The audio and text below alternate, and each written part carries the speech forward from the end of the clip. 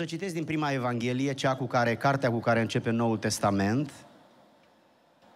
Și o să citesc din capitolul 22, un pasaj intitulat și de, de fapt celebru, Birul Cezarului.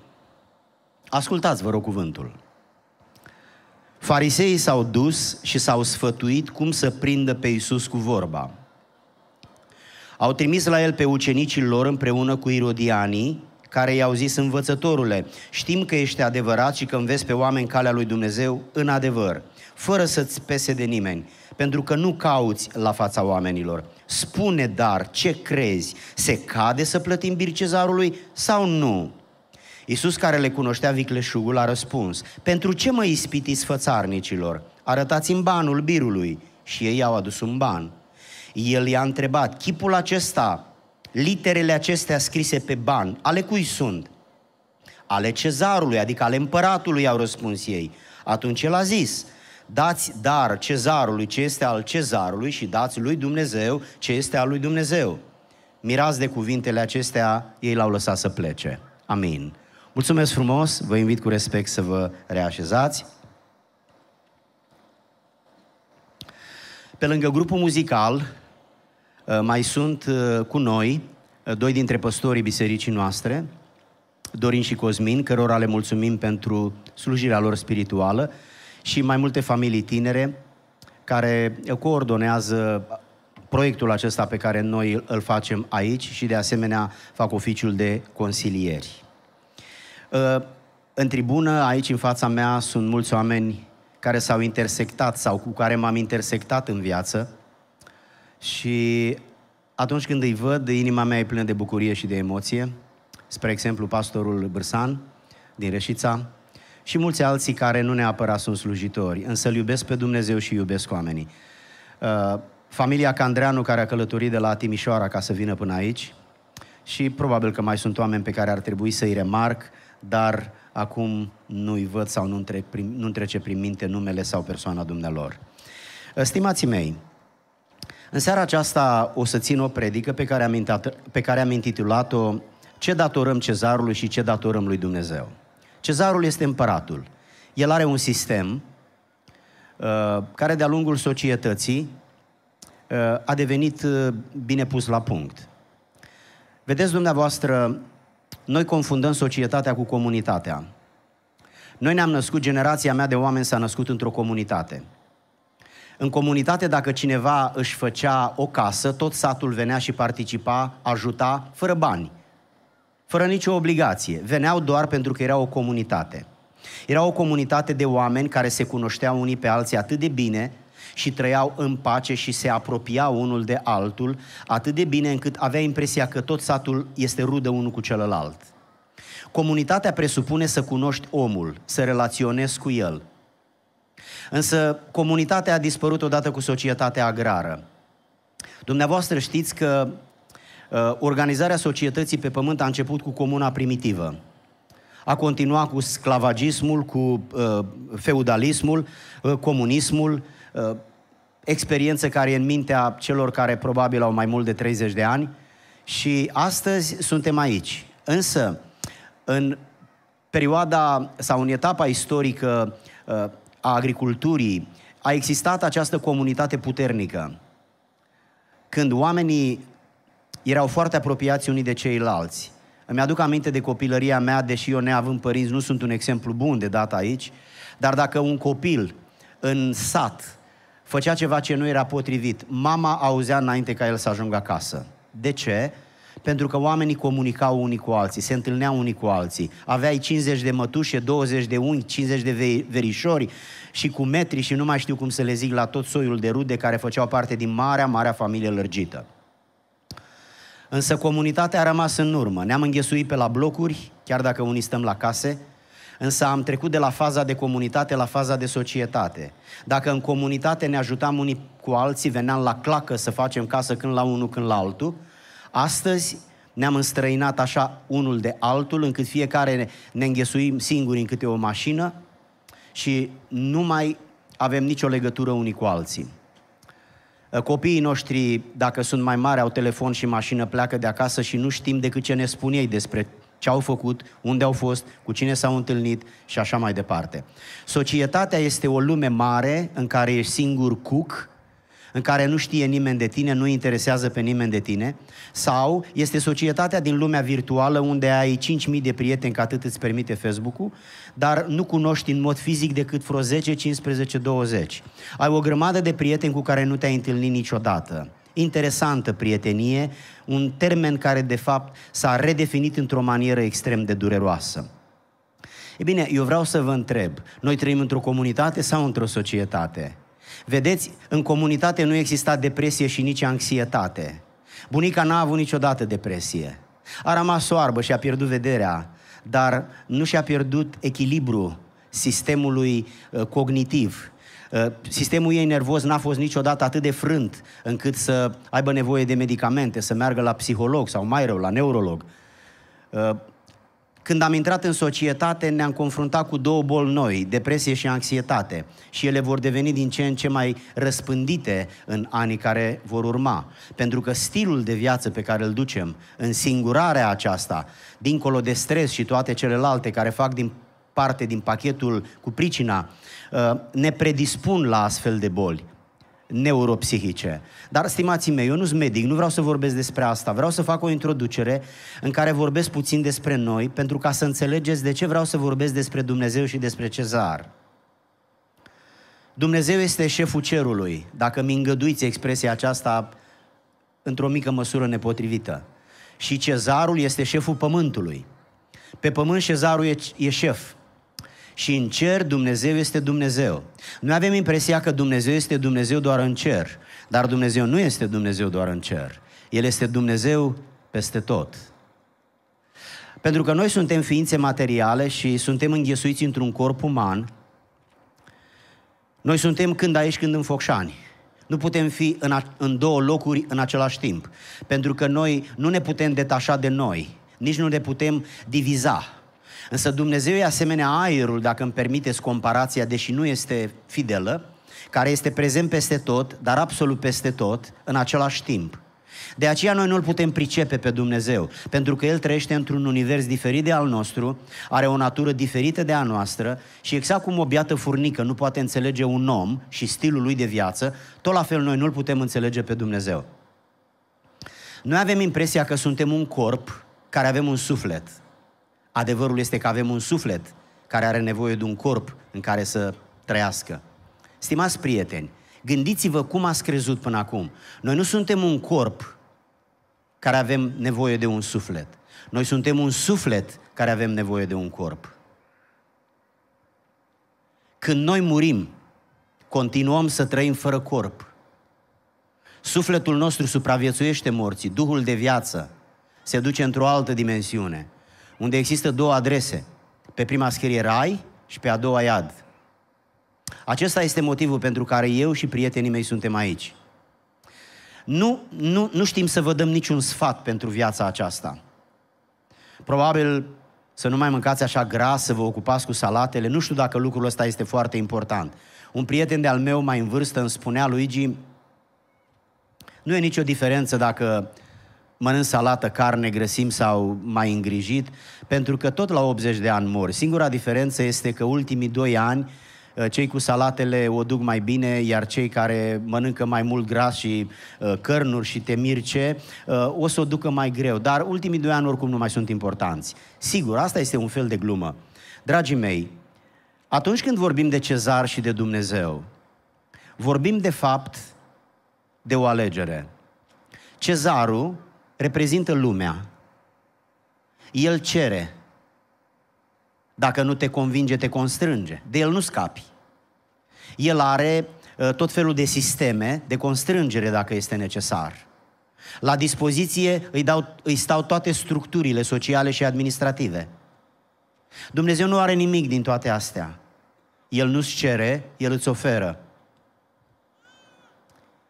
El te asistă, El te binecuvintează, El te ajută să te întorci de la spital nu în sicriu și pe picioare, El ți-a dat anii pe care îi ai, El răspunde fiecarei bătăi a inimii, care înseamnă să mai bat încă o dată, El spune da, n să știți că într-o zi El va spune nu. Nu știu când e ziua asta, dar într-o zi va spune nu. Nu vreau să vorbesc despre moarte, știu că nu e cea mai fericită experiență, dar vreau să vă spun că singurul lucru de care putem fi siguri este faptul că într-o zi murim. Nu-i nimic în lumea noastră mai previzibil decât moartea. Moartea este cea mai previzibilă experiență umană. De aceea, aș vrea să vă spun că ar fi bine să ne gândim la lucrul ăsta, nu pentru ca să ne speriem, ci pentru ca să ne pregătim. Ascultați-mă, noi ne mutăm când murim. Noi nu suntem animale să dispărem. Noi ne mutăm când murim. Și ne mutăm la una dintre cele două adrese. Cea la care vom ajunge nu este întâmplătoare, nu este accidentală, ci este aleasă. Întreaga noastră viață o alegem. Prin raportul nostru față de Dumnezeu, dar și față de cezar.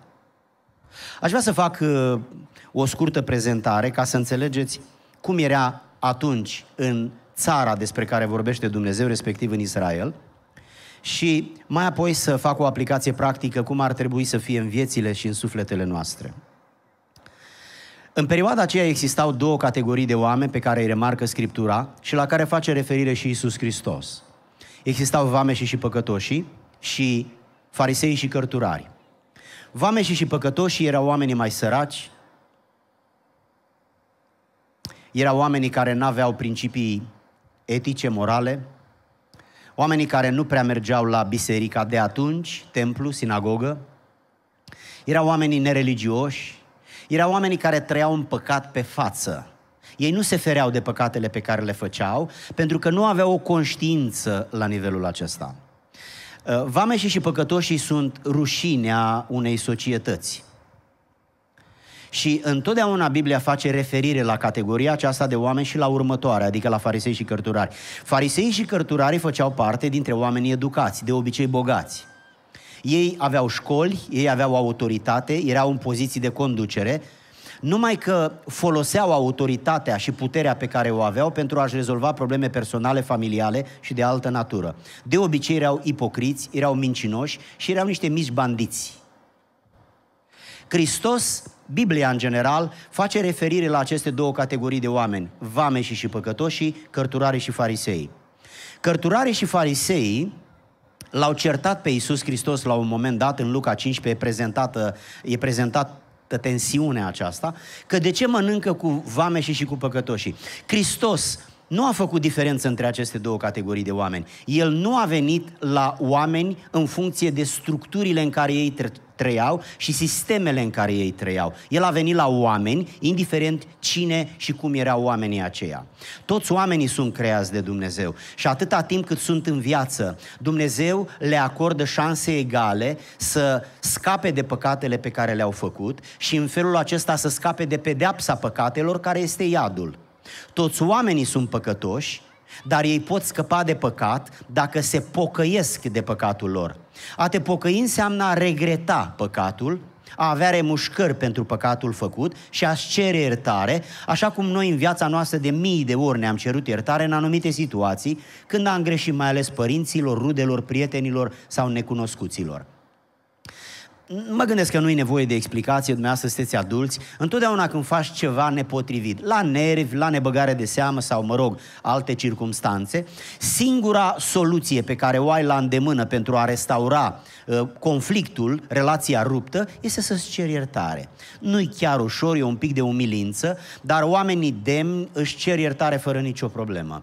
Poți să mergi la persoana căreia i-ai cauzat o oarecare ofensă și să-i spui, știi ce, m-am întors ca să te rog, fă favoarea și iartă-mă, îmi pare rău, uite, îmi pare rău, m-a luat gura pe dinainte sau am făcut ceva ce a fost nepotrivit pentru tine și vreau să, vreau să știi că îmi pare rău, m-am întors cu sinceritate, te rog iartă-mă. Acum, oricât ar fi omul ăsta de supărat sau de răutăcios, până la urmă își dă seama că nu poți să faci mai mult decât să recunoști și să-ți asumi că ai greșit și să, să spui vorba asta grea, Domnule iartă-mă. Absolut la fel trebuie să procedăm cu Dumnezeu. Absolut la fel. Asta se numește căință sau pocăință. În raport cu Dumnezeu trebuie să mai facem încă un lucru. Să credem că Dumnezeu a trimis în lumea noastră un mântuitor în persoana lui Isus Hristos.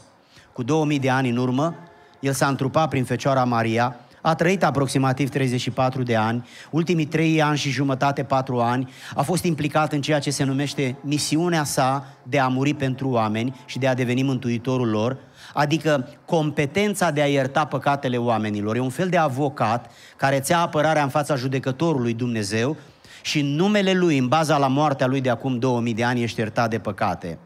Orice ființă umană poate deveni iertată de păcate. În situația în care se căiește de... Niciuna dintre aceste două categorii nu se înghesuia la mântuire. Vameșii și păcătoșii erau irresponsabili pentru sufletul lor, trăiau în păcate pe față, iar cărturarii și fariseii se socoteau așa de sfinți, încât credeau că n-au nevoie de mântuire. Așa se face că unii nu se mântuiau, pentru că era prea dulce păcatul și nici nu-și făceau timp să înțeleagă fenomenul acesta, iar, cea din, iar cei din cea de-a doua categorie îl disprețuiau pe Iisus Hristos, încercau să scape de el și au și reușit când l-au ucis, l-au pus pe cruce, folosind autoritatea cezarului de la Roma.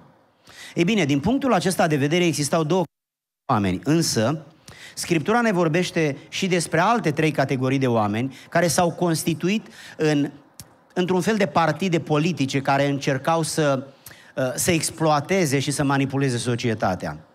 Erau zeloții, care erau niște oameni revoltați, care erau niște oameni uh, alcătuiți într-un partid naționalist, extremist, al cărui scop era să elibereze țara de cezarul de la Roma.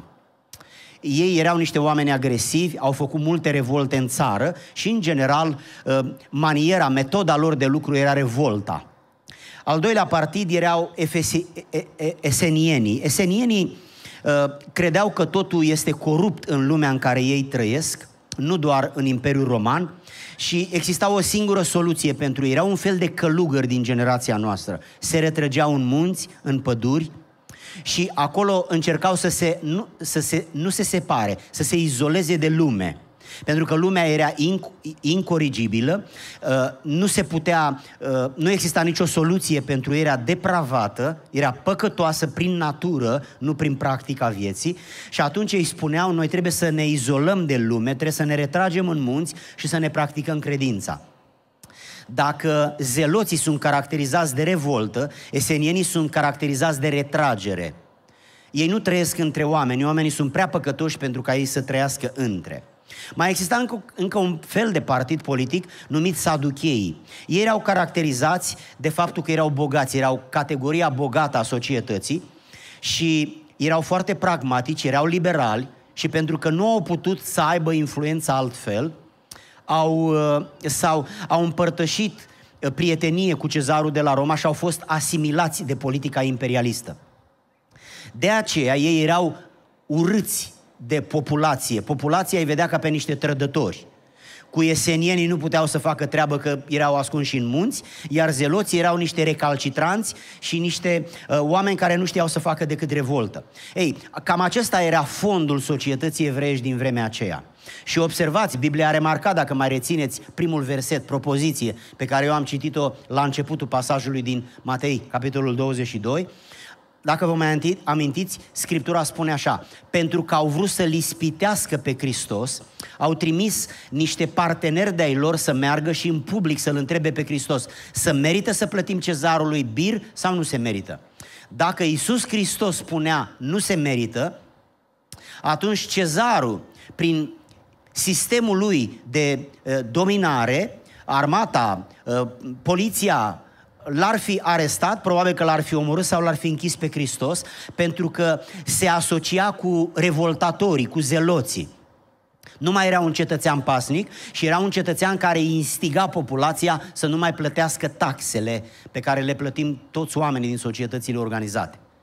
Ei, Hristos și-a dat seama de riscul răspunsului și a înțeles și motivul întrebării. Dacă spunea plătiți, toată societatea ar fi sărit în cap, tu ești evreu, ne pui și așa suntem săraci, ăștia ia pielea de pe noi. Tu ne încurajezi să plătim taxele la bogătani ăștia care își fac statui din aur, iar noi nu avem cu ce să ne hrănim copiii. Hristos era între două rele, amândouă la fel de rele. Și aduceți-vă aminte că înțelepciunea lui Dumnezeu se manifestă prin Fiul lui Dumnezeu. Și Hristos, Dumnezeu întrupat, care stă între ei, venit în rolul să moară pentru ei, în rolul de mântuitor, ca să-i salveze nu neapărat de cezar. Hristos n-a venit să ne scoată din mâna cezarului. Din mâna cezarului ne va scoate cine ne-a băgat. Hristos a venit să ne scoată din mâna diavolului. A venit să ne scoată din păcat. Pentru că mai rău decât cezarul este diavolul. Și mai rău decât sistemul lumii, indiferent de țara în care trăiești, este iadul în care oamenii ajung dacă nu se pocăiesc de păcatele lor. De aceea Hristos are discernământ și o înțelepciune dumnezeiască și le cere un ban și spune dați-mi un ban. Și orice ban are un reprezentant al clasei care conduce societatea. Și a întrebat, al cui e chipul de pe banul acesta? Era de obicei chipul regelui. Și ei au spus, e al regelui, al cezarului. Ei bine, dacă e al cezarului, să, le, să dați cezarului ce este al cezarului și lui Dumnezeu să-i dați ce este al lui Dumnezeu. Cu acest răspuns i-am păcat pe toți. Însă la 2000 de ani de atunci vin și eu mă leg de răspunsul asta și vă întreb. Dumneavoastră, cu cine sunteți? Sunteți cu cezarul sau sunteți cu Dumnezeu? Sigur, întrebarea mea are caracter general și este atât de general încât poate este greu de înțeles ce vreau să întreb. Predica mea are drept scop să lămurească ce vreau să întreb. Singurul lucru pe care eu pot să-l fac, dragi prieteni, este vă rog, să vă rog să gândiți. Dar nu doar în legătură cu afacerile. N-aveți nevoie de mine. Acolo știți bine ce aveți de făcut. Este să vă rog frumos să vă gândiți la vârsta la care ați ajuns. Dacă sunteți siguri că ceea ce ați făcut până acum este ceea ce ar fi trebuit să faceți până acum. În mod normal, ceea ce ar fi trebuit să faceți până acum, pe lângă toate cele pe care le-ați făcut, ar fi trebuit să vă împăcați cu Dumnezeu. Pentru că aceasta este singura soluție ca să scăpați de păcatele pe care noi toți le-am făcut. Noi suntem răi prin natura noastră. Vă dau doar un exemplu banal. Copilul care începe să vorbească. Când începe să vorbească, știe și să mintă. Dar cine l-a învățat să vorbească? Mama, da să mintă, nimeni. Păi mă, oameni buni, cum vine asta nu l-a învățat nimeni și știe? Noi oamenii suntem aplecați înspre rău de când ne naștem până murim. Dacă unui leu nu e foame, s-ar putea să nu scape, să nu-ți facă nimic. Trece pe lângă dumneata. Poate mârie un pic. Dar omul, sătul sau flămând, te rupe cu ceva, ori cu vorba, ori cu fapta, ori cu ironia, ori cu sarcasmul, ori cu invidia, ori cu batjocora, ori o mie de ori. Omul este o ființă complexă, diversă, însă coruptibilă și rea în natura lui. Când omul se naște, se naște sub incidența păcatului adamic. Când echipa de fotbal a României este învinsă, nu este învinsă echipa de fotbal a României, este învinsă România. Dar România n-a jucat niciun fotbal acolo, numai 11 români au jucat. Dar ăia 11 au adus peste noi ori învingerea, ori înfrângerea. E la fel Adam a jucat cu păcatul și a fost învins. Și prin păcatul lui, păcătoși sunt toți oamenii de pe pământ. Dar pe lângă păcatul, sub incidența căruia se nasc oamenii, oamenii sunt păcătoși și prin păcatele pe care le fac după ce devin conștienți de realitățile vieții. Uitați-vă la stilul de viață de astăzi. E îmbibat de erotism, e îmbibat de sexualitate. Deschideți, vă rog frumos, Google și intrați pe videourile de pe YouTube și o să vedeți că cele mai multe dintre ele te învață cum să flirtezi. Domne, ești căsătorit și te învață cum să flirtezi. De ce? Pentru că după luna de miere, după o lună, două, cinci, zece, euforia căsătoriei intră în declin. Și oamenii așa sunt făcuți că se plictisesc de orice. Ți o rochie nouă, o îmbraci prima oară și ai impresia că tot orașul te privește. A doua oară te privește jumătate din oraș, a treia oară te mai privesc câțiva oameni și apoi nimeni. Asta e mintea noastră. De ce? Pentru că noi oamenii ne plictisim de orice lucru pe care îl avem. Știți ce, vreți să, știți ce vor oamenii să aibă, ce nu au.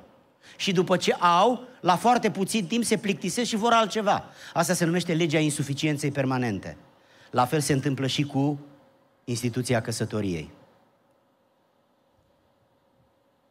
De ce divorțează oamenii? De ce și întorc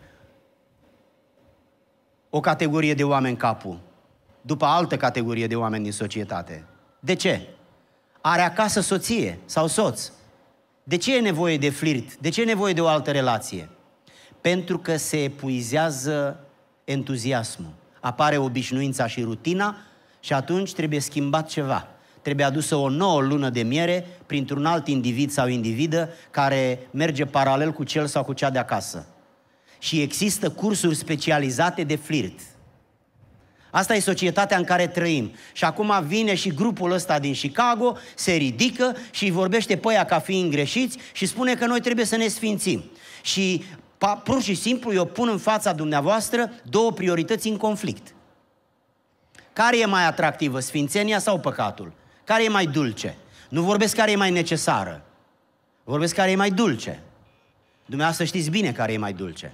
Care e mai necesară? Cea care îți oferă raiul. Că pe pământ trăiești 70-80 de ani. Hai să zicem că trăiești 90. Dar mai mult, dumneavoastră știți că nu funcționează. Și dincolo sunt două adrese. Unde mă voi duce eu? M-am străduit și eu ca toți muritorii să fac școală, M-am străduit și eu ca toți muritorii să fiu fericit, să am familie, să am copii, să fiu corect, să fiu om, să-mi fac și eu o reputație și să mă respecte oamenii, să-mi fac și eu vorba Bibliei un nume sub soare. Și am ajuns la 60 de ani. S-a cam epuizat viața. Acum, ce ar trebui să fac să trăiesc mai mult? Bătrânețea se zice că e puțin complicată, dar nu poți să trăiești mult fără să ne ajungi la bătrânețe. Că există două variante. Ori îmbătrânești și e greu, ori mor de tânăr și scap de greu. Dar mor de tânăr. Cum e mai bine? Nu știu, probabil știți dumneavoastră. Stimați prieteni, interesant este că viața noastră ne stă la îndemână și nimeni nu ne constrânge. Mulți încearcă să ne convingă, dar nimeni nu ne constrânge să ne pocăim sau să ne destrăbălăm noi hotărâm să facem ce credem noi că este în avantajul nostru. Așa că lumea este polarizată. Este polarizată în religie, este polarizată în ideologii, este polarizată în toate celelalte lucruri. Dumneavoastră știți că există foarte multe metode prin care oamenii ajung să împărtășească un punct de vedere sau altul. De pildă, există posibilitatea ca să fii convins. Sunt persoane care te pot convinge și te lași convins și îți schimbi punctul de vedere cu privire la un lucru. Însă, s-ar putea să nu te lași convins.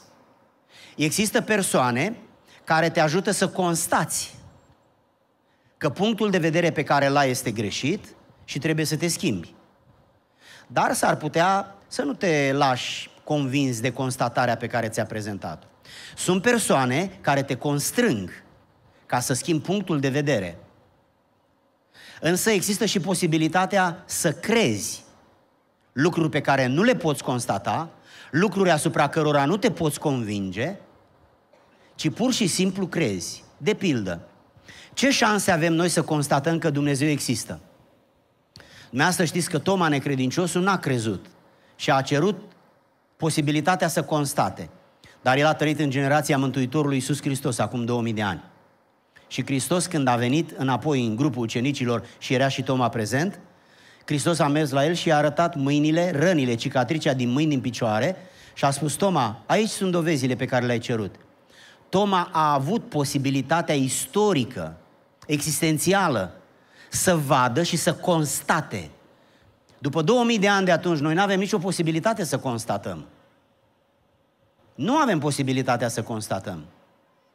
Din punct de vedere al argumentării, sigur, argumentarea este puternică atunci când citim Scriptura sau când stai de vorbă cu cineva care poate argumenta cu Scriptura. Însă, oamenii spun, arată-mi-l pe Dumnezeu și o să cred în Dumnezeu. Eu vă întreb, chiar credeți că mai aveți nevoie de credință când ajungeți să vedeți un lucru? Vedeți, ignoranța noastră e așa de mare încât spunem un lucru care, din punct de vedere al științei sau al experimentării, să nu mai zic al limbii române, este un pleonasm. Stimați prieteni, când vezi cu ochii un lucru, nu mai e necesar să crezi ce ai văzut, că e suficientă percepția văzului. Știți când e nevoie să crezi? Când nu vezi, dragul meu. Eu cred că mâine nu o să plouă. Eu cred că ce crezi? Lucruri pe care nu le poți constata și lucruri asupra cărora nu funcționează logica. Nu poți constata dacă Dumnezeu există sau nu. Logica ne ajută până la un punct. Însă Dumnezeu ne-a spus că în El trebuie să credem. Verbul a crede este folosit în întreaga noastră viață, în mod abundent, nu numai în aspectul religios. La fel de real ca cezarul care e vizibil, are un corp vizibil, fizic, este Dumnezeu, care nu are un corp fizic. Dumnezeu trăiește într-un univers imaterial, într-o lume plină de ființe imateriale. Îngerii nu au un corp fizic, pentru că spiritul nu poate fi perceput cu văzul, dragi prieteni. Cu văzul nu poate, fi, nu poate fi perceput nici gândul, nici sentimentul, nici trăirile interioare. Și o grămadă de alte lucruri din lumea noastră nu pot fi văzute. Vedeți? Nouă ni se pare că dacă l-am vedea pe Dumnezeu, am devenit credincioși lui Dumnezeu. Dar eu vă contrazic oferindu-vă generația lui Hristos, care l-au văzut și l-au ucis. Noi credem că dacă am trăit în generația aceea nu am face la fel, dar nu avem nicio dovadă că nu am face la fel. De fapt, noi avem obiceiul să spunem, dacă eu aș fi fost în situația aceea, eu nu aș fi făcut așa. Credeți-mă că e corect ce spun. Iertați-mi superioritatea care este, e prezentă aici în afirmația asta. Noi nu avem nici, noi avem de unde să știm cum ne-am comporta într-o situație în care am fost. Noi spunem doar ce credem noi că am face într-o situație în care am fost. Apropiindu-mă de încheierea predicii, aș vrea să vă spun că în Scriptură există câteva exemple de oameni care au folosit credința și s-au convertit. Verbul convertire se referă la o schimbare. Dacă trăiești în imigrație și vii în România, așa cum astăzi România e plină de oameni care în august, în general, iulie, iulie, iunie, iulie, august, perioada de vacanță, de concedii, foarte mulți se întorc acasă. Drumurile sunt mai aglomerate, vezi o grămadă de mașini cu numere străine. Ei bine, ei când vin, au euro, lire sau dolari și merg la casele de schimb valutar sau la bancă și convertesc monezile acestea în bani românești. De fapt, ce înseamnă convertire? O schimbare. O schimbare de la o stare la alta, de la o valoare la alta. Ei, termenul convertire se folosește și în teologie, în religie, în lumea spirituală, vrând să pună în evidență că un păcătos se poate converti într-un om sfânt. Și acesta este mesajul de bază al Evangheliei. Să te transformi, să te schimbi, să te convertești dintr-un om păcătos într-un om sfânt. Dar schimbarea inițială nu presupune ca dumneata să schimbi ceva, ci presupune să alegi ceva. Lăsați-mă în câteva clipe să vorbesc despre două, trei, patru exemple. Scriptura vorbește despre ministru din Etiopia, în fapte capitolul 8, că a mers la Ierusalim să se închine. 2300 de kilometri aproximativ, fără avion și fără mașină, cu un car tras de nu știu ce animal din vremea aceea. A făcut vreo lună, două până acolo. Încă o lună, două să se întoarcă, o mai fi stat vreo săptămână, două pe la templu. Oricum n-avea voie să intre prea mult, pentru că era din afara poporului Israel și pe deasupra era famen. Dar omul acesta l-a căutat pe Dumnezeu, deși avea și el o religie ca noi toți. Și etiopienii au religie, nu numai românii. Dar în ciuda religiei naționale, omul ăsta, un om inteligent, un om realizat, ministru de finanțe, a spus, mă duc până la Ierusalim să mă închin lui Dumnezeu. Observați unde l-a căutat pe Dumnezeu? Acasă. Dumnezeu are o casă, în vremea aceea era numită templu. Mai înainte era numit temp, uh, uh, cortul. Astăzi este numită biserica. Eu știu, uneori biserica intră în disgrație, nu mai, nu mai prezintă siguranță, încredere, garanție, datorită preoților, datorită timpului, datorită la eu știu ce. Dar casa lui Dumnezeu pe pământ rămâne biserica până la sfârșitul timpului. Ei bine, omul ăsta s-a dus la templu să-L caute pe Dumnezeu. De acolo a venit doar cu o carte, cu cartea lui Dumnezeu. A început să o citească, dar nu înțelegea mai nimic. Dumnezeu l-a văzut din cer, a vorbit unui înger care a venit într-o descoperire dumnezeiască la un evanghelist, la un predicator și i-a spus, du-te în pustie. Omul s-a dus și l-a întâlnit pe ministru citind în carte. Și l-a întrebat, înțelegi ce citești? Și el a spus nu. Omul câteva zile i-a explicat și după ce ministrul a înțeles Evanghelia, dând peste o apă, l-a întrebat pe evanghelist, uite apa, ce mă împiedică să mă botez?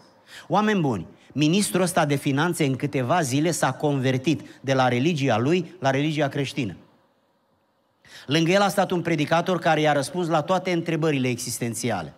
Și ăsta un intelectual, un om cu carte, un om deștept, un om cu logică, profesor în contabilitate, omul ăsta a înțeles că are nevoie de iertarea păcatelor, pentru ca în lumea asta, dacă e bine ca ministru, să-i fie bine și în lumea de dincolo.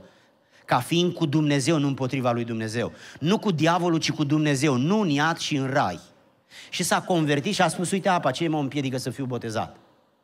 A, l-a căutat pe Dumnezeu la casa lui Dumnezeu, citind cartea lui Dumnezeu și ascultându-l pe slujitorul lui Dumnezeu. Observați trei repere. Când vă va trece prin minte să vă pregătiți pentru cer, să știți că trebuie să interacționați cu aceste trei entități. Aș putea să vă mai ofer încă două, trei exemple, însă aș vrea să mă apropii de încheiere și să facem o rugăciune în urma căreia mai avem câteva mici lucruri de făcut și ne vom despărți.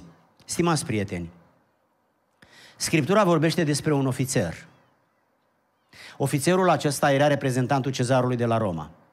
El locuia în cezarea, avea un grup mare de soldați, numit Ceata Italiana, cu care ținea ordinea în, în, în regiune.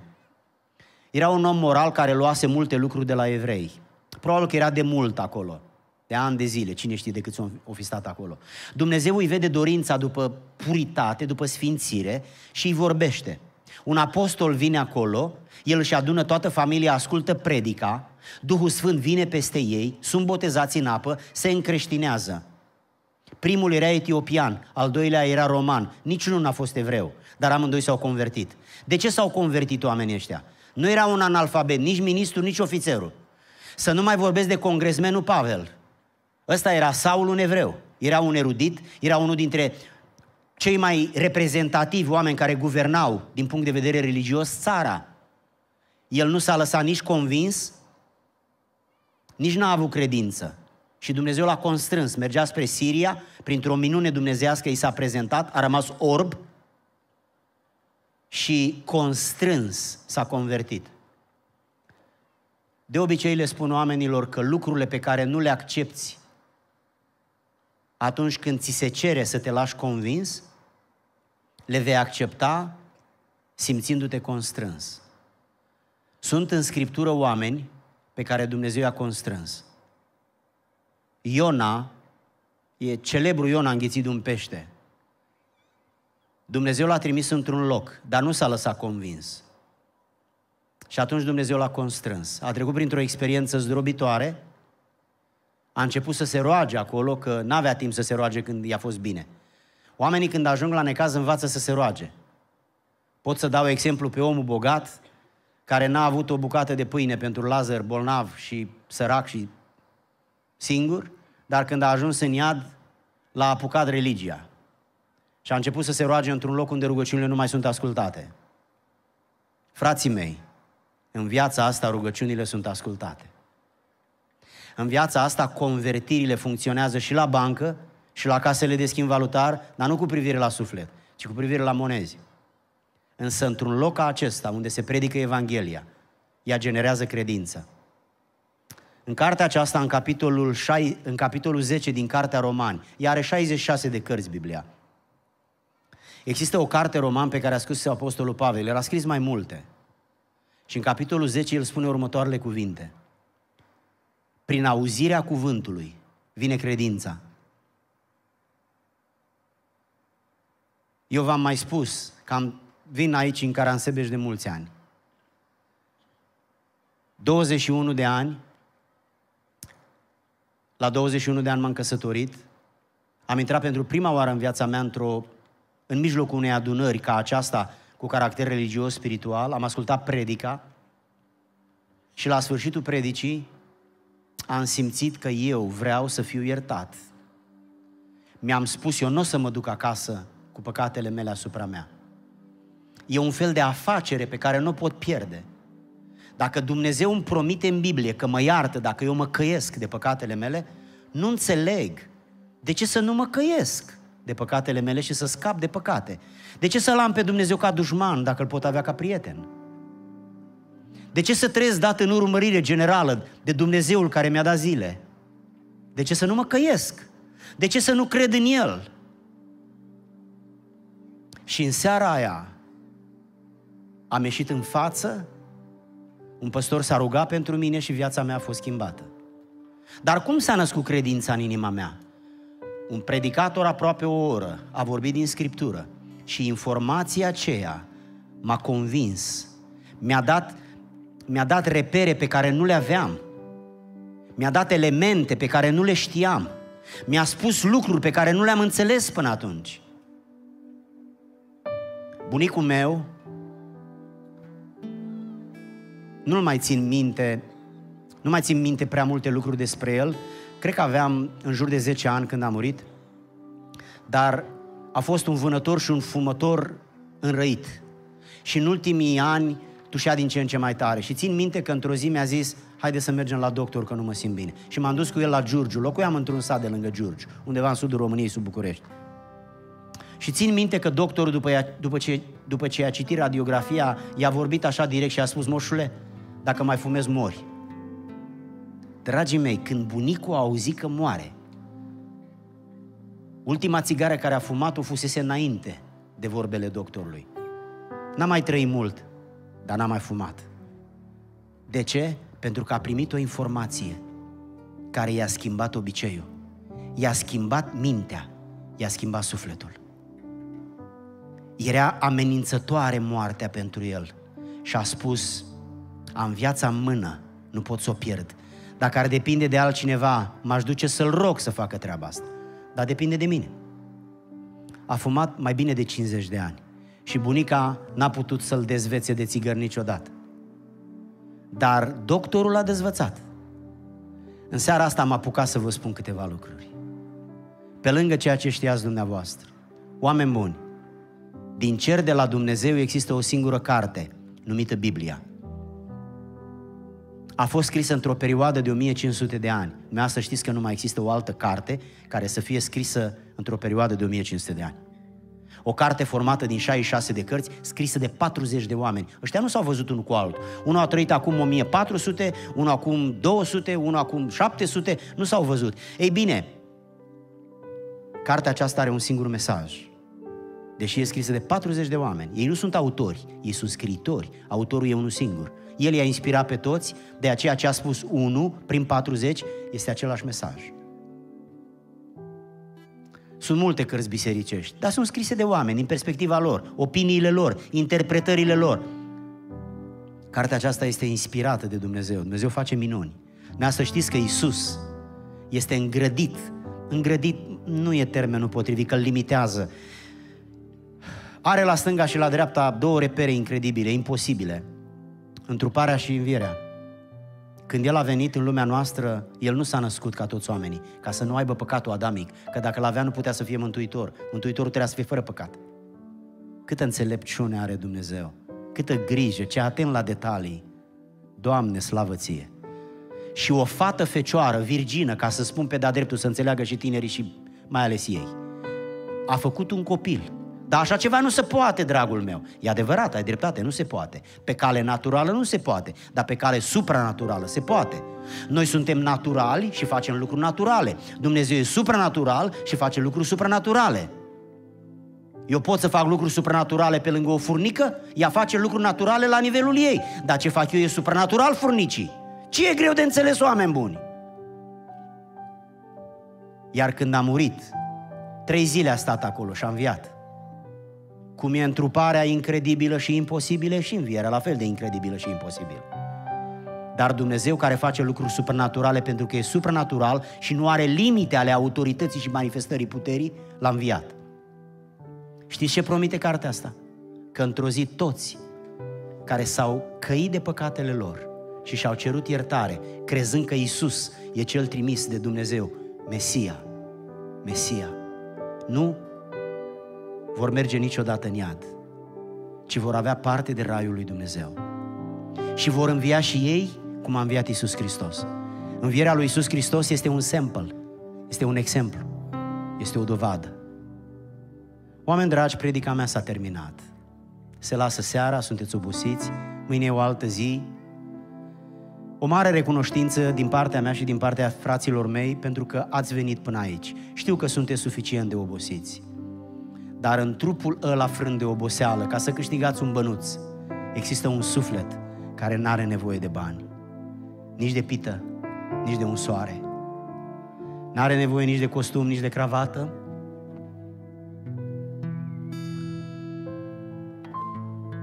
N-are nevoie nici de mașină, nici de căsătorie, nici de internet, nici de aventuri. Are nevoie de Dumnezeu. Sufletul nostru îl caută pe Dumnezeu. Sufletul nostru strigă după Dumnezeu. Pentru că El are o natură care nu se compară cu cea a trupului. Trupul nostru este sediul instinctelor primare. Freud a avut dreptate când a spus ce a spus.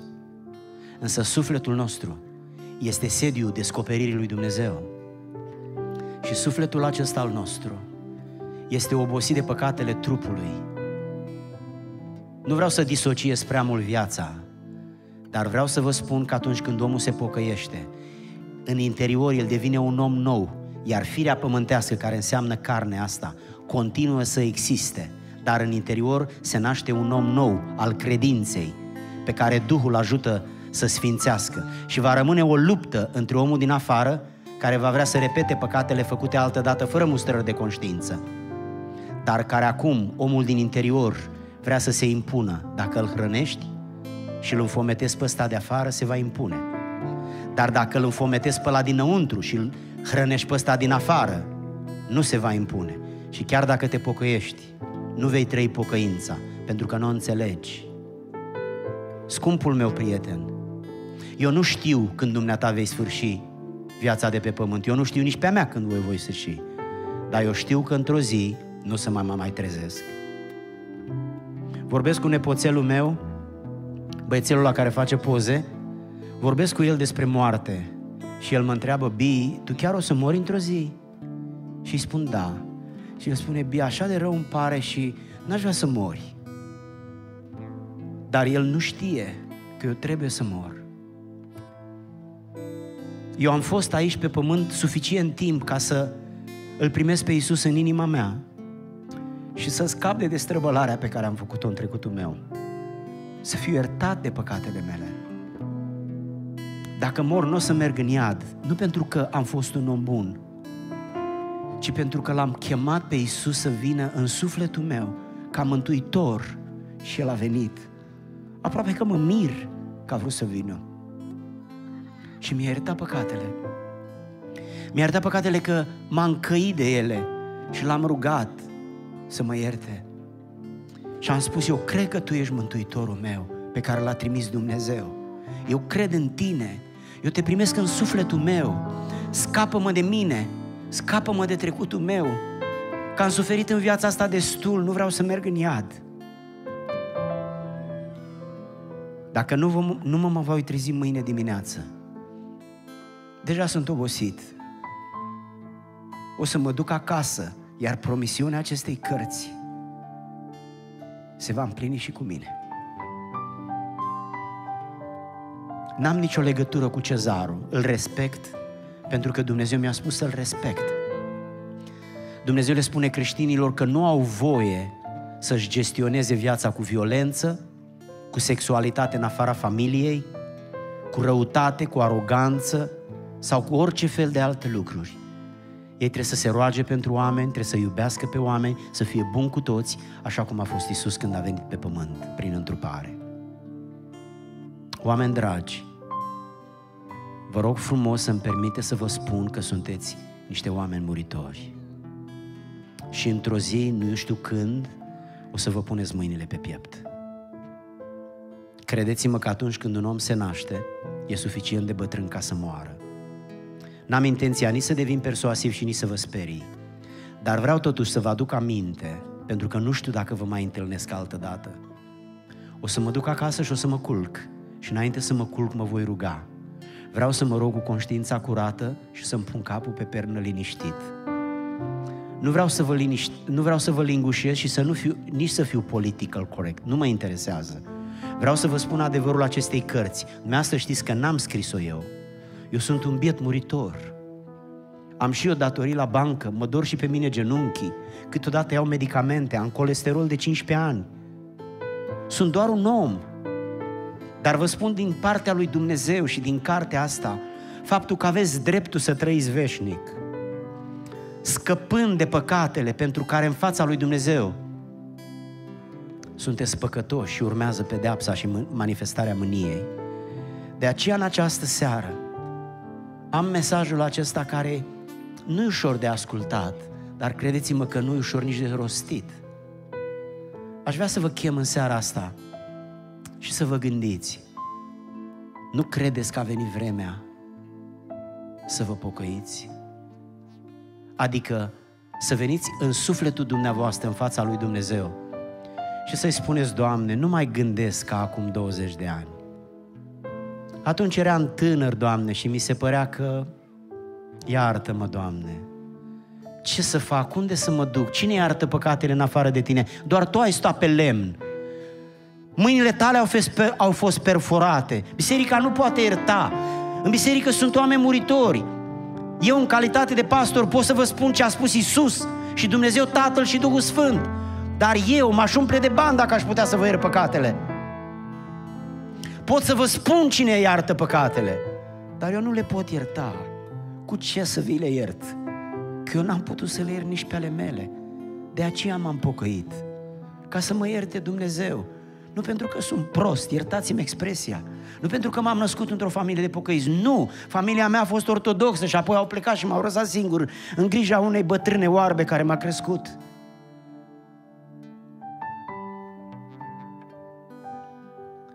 Aș vrea să vă rog să vă gândiți.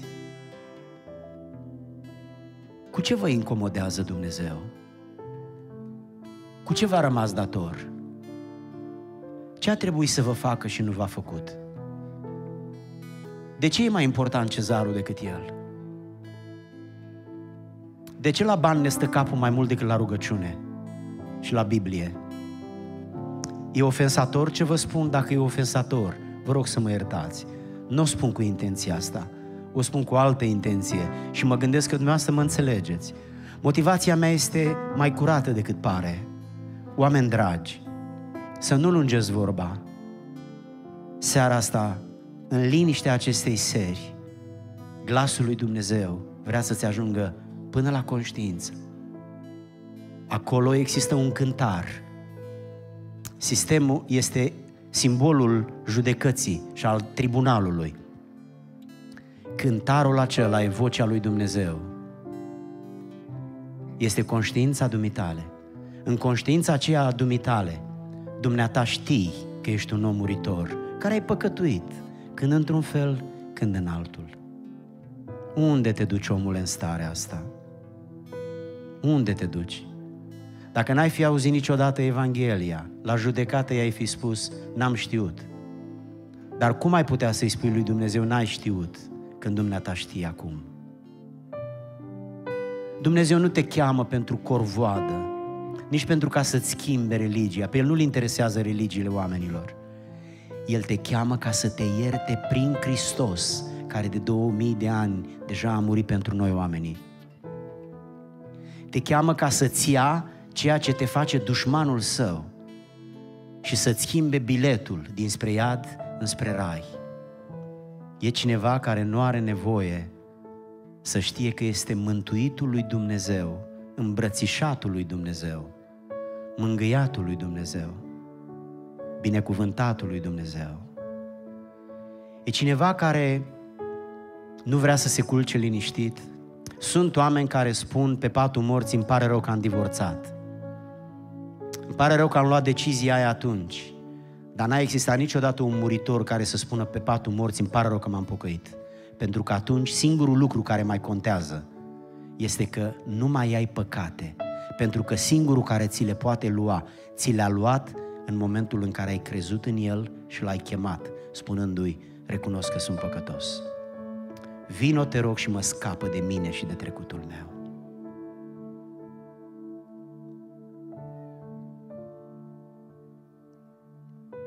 Aș vrea să vă invit să vă ridicați în picioare. Și o să vă chem aici în față pe cei care vreți să vă apropiați de Dumnezeu. Vreți să vă împăcați cu Dumnezeu. Vreți să vă dați viața lui Dumnezeu. Vreți să vă deschideți sufletul și să-L primiți pe iertătorul Iisus Hristos, pe Mântuitorul Iisus Hristos. Uh, sunt aici, este aici o poartă prin care puteți veni. Mai este una acolo? Dragi prieteni, vreau să fac o rugăciune pentru dumneavoastră. O să fac doar o rugăciune pentru dumneavoastră. O să mă rog și pentru cei care sunt bolnavi. Să-L rog pe Dumnezeu mila sa să-și întindă mâna și după bunătatea sa prin Hristos să vindece pe cel care este lovit de necaz, de suferință și de boală. Dar intenția noastră în această seară este să-i chemăm pe oamenii care vor să-și mântuiască sufletul prin Hristos. Vă chem, dragii mei, în timpul cântării care va urma, să coborâți din tribună. Coborâți și veniți prin intrarea aceasta aici pe iarbă. O să spun o rugăciune pentru dumneavoastră și apoi o să ne despărțim. Mâine există o invitație a Bisericii Menora pentru ca să reveniți și să continuați să vorbiți despre lucrurile astea, înțelegând bine ce vrea Dumnezeu. Atunci când aveți o călătorie lungă de făcut, stați și vă documentați, încercând să înțelegeți cum puteți ajunge mai ușor acolo. Drumul spre cer este un drum ușor atunci când ai Biblia și când Isus Hristos îți este Domn.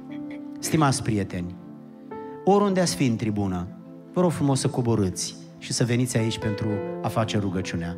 Eu nu o să insist prea mult. Nu vreau să veniți în față constrânși de mine, deși dacă aș ști că vă pot constrânge, iertați-mi îndrăzneala să știți că aș face asta. Sunteți prea prețioși ca să mergeți în foc. Aveți un suflet și astăzi depinde de alegerea dumneavoastră. Doamnelor, domnilor, nu eu vă chem. Eu sunt doar un om, eu sunt doar o voce. Vă cheamă Dumnezeu. El are ce să vă ofere. Eu nu vă pot ierta, dar El vă poate ierta. Vă rog, veniți în fața Lui. El v-a creat. El vă e Dumnezeu și stăpân. El a stat pe cruce pentru ca să vă poată chema și ierta păcatele. De aceea, coborâți, veniți înaintea Domnului aici pentru rugăciune. Dumnezeu să vă dea putere. Amin.